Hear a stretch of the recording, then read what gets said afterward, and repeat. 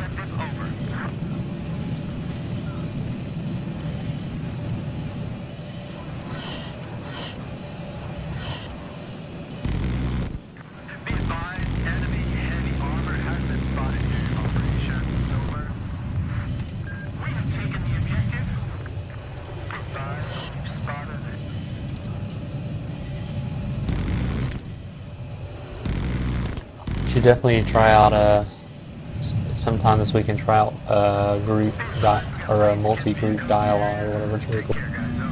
I think on release we should definitely uh, play in groups. It's a lot, it's a lot cooler than like the dialogue and stuff if you're in a group. Because um, multiple like multiple characters will speak and stuff. The objective has been lost. Be advised, hostile sniper has been spotted. Over.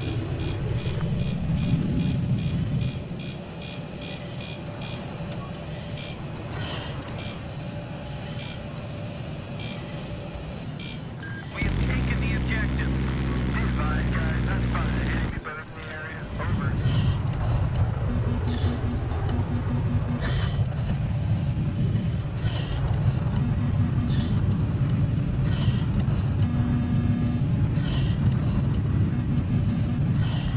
I would like to confirm there are enemy infantry in the area. I just spotted some. Over.